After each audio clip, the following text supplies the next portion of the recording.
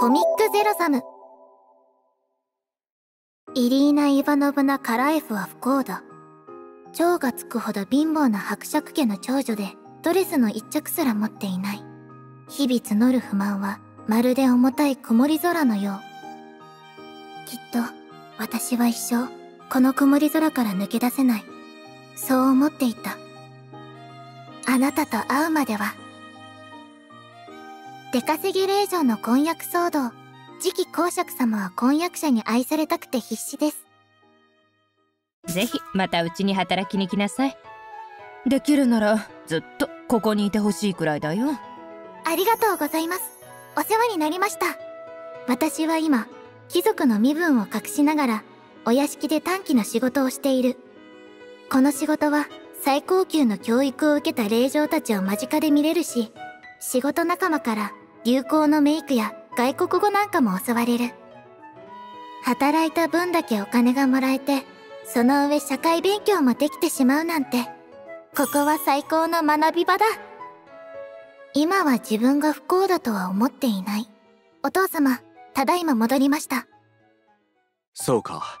ああ何か変わったことはなかったか？はい特には。そうか。お父様は私がお金を稼ぐことに後ろめたさがあるみたい。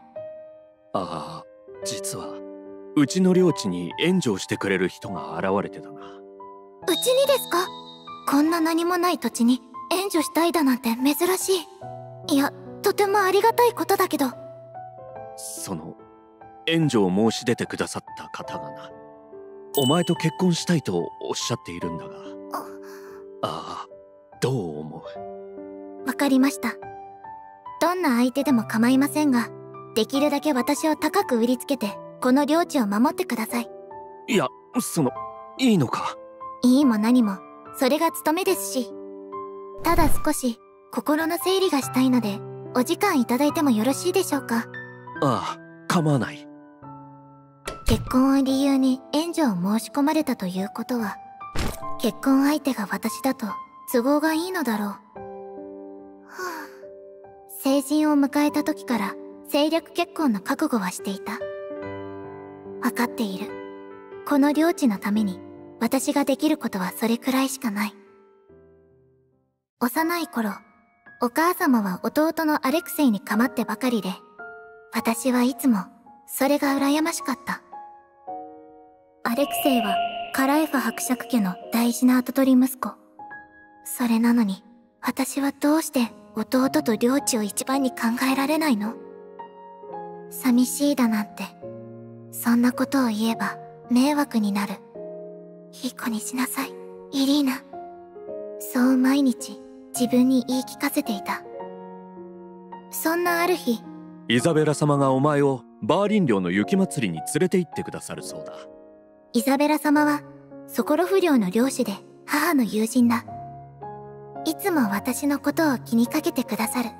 イーラは賢いからその分いろいろ我慢させてしまっているとお前の母親たちも心配していてね。これは8歳になるイーラへの誕生日プレゼントだ。そう言ってイザベラ様は旅行に着ていく服も一式用意してくださった。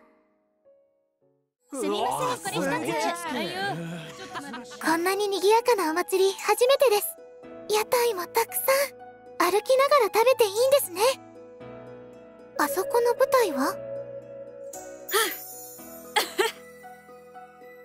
わあすごい。なんて綺麗なんだろう。あれは雪の精霊を模した舞さ。この祭りのメインイベントだね。芸人は初めて見ましたがすごいですね。楽しいって気持ちがすごく伝わってきて私も楽しくなってき彼は芸人じゃないよ。この領地の嫡男さ。つまり次期公爵様だね。え？どうして公爵子息が芸人の真似を？バーリン公爵家は風変わりな人たちなんだ。貴族なのに民との距離が近くて昔から祭り中に領民を楽しませる。まああの子息はそれに輪をかけて変わり者だけどね。一緒に踊ってよ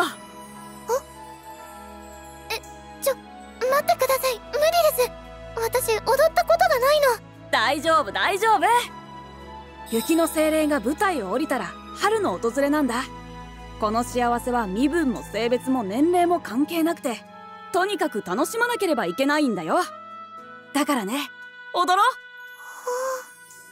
ほら俺の真似をして。ダンスなんて踊ったことないのに。不思議。なんだかすごく楽しい。お魔法にでもかけられたみたい。こんなに笑ったのいつぶりだろう。は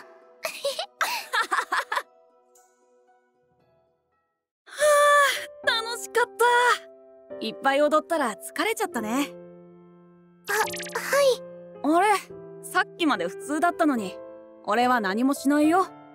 だって踊ってる時は夢中で気にならなかったけどこんな美しい人相手に緊張するなという方が無理な話。綺麗な銀髪に青空のような瞳。まるで妖精か天使。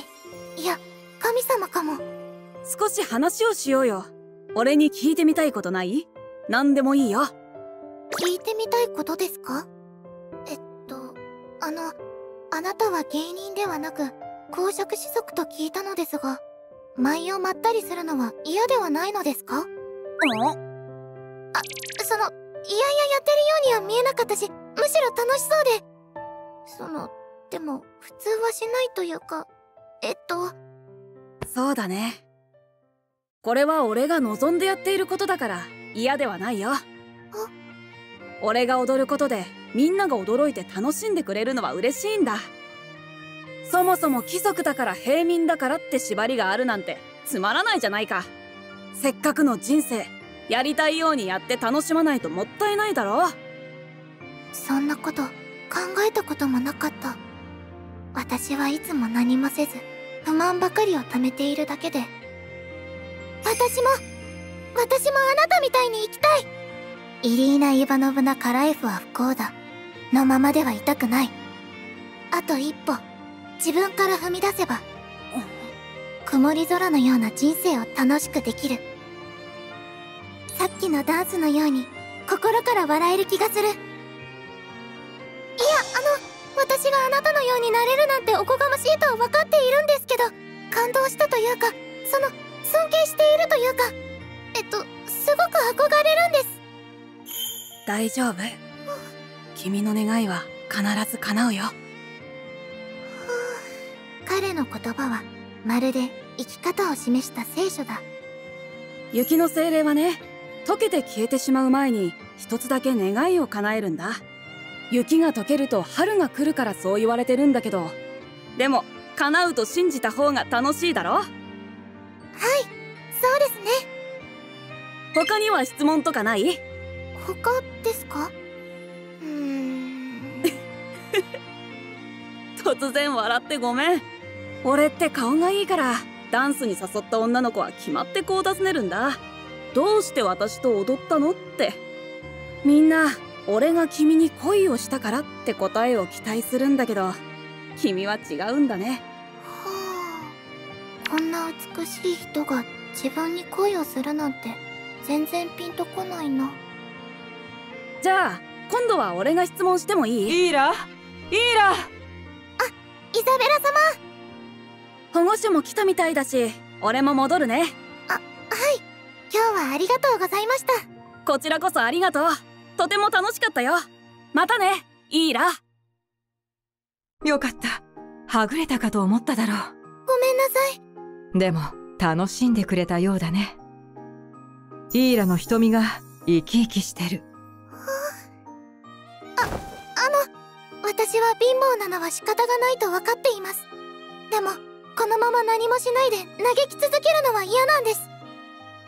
イザベラ様にもらったこの服もすごく嬉しくてきっと買われる。新しい服を買うお金がないなら自分で稼ぎたいんです。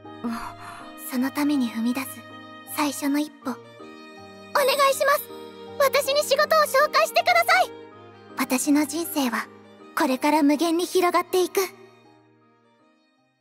あれから10年。今日までずっとミハエル様に憧れていつか彼のために働ける日を夢見て頑張ってきた。もっともっと技術を身につけて。そしたら必ず。だけど結婚したらもうその夢は絶対に叶わない。10年間学んできたことを結局ミハエル様のために使えずに。本当にそれでいいの？いやよくない。どうしても諦められない。一度でいいからミハエル様のために働きたい。イーラよく来たね。イザベラ様ご無沙汰しています。今回もイーラの仕事ぶりは聞いてるよ。さすが私のイーラだ。それで今日はどうしたんだい？はいあの私結婚が決まりましたイーラは結婚したくない？いいえいつか親が決めた相手と結婚することは覚悟していました。でもお願いします。結婚するまでに一度だけでいいのでミハエル様がいるバーリン公爵家で働かせてください。雑用でも何でも構いません。私の10年の集大成の仕事がしたいんです。分かったよ。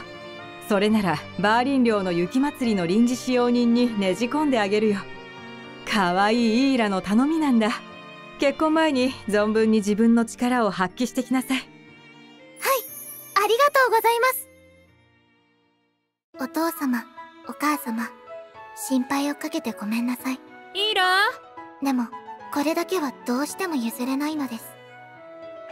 イーラここにもいないのね。どこに出かけたのかしら。あら？置き手紙？読んでいいのかしら？うん。結婚前には必ず帰ります。それまでバーリン公爵家で働いてきます。結婚前の最後のわがままをお許しください。ああなたイーラがイーラが。どうしたんだ？あなたイーラにちゃんと結婚の話をしたのですか？ああイーラも納得したはずだが。じゃあどう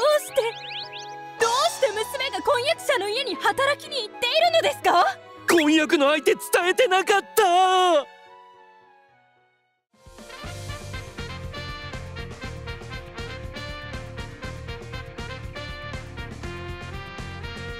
チャンネル登録はこちらになります。おすすめ動画はこちらだよ。よろしければグッドボタンコメントもお願いします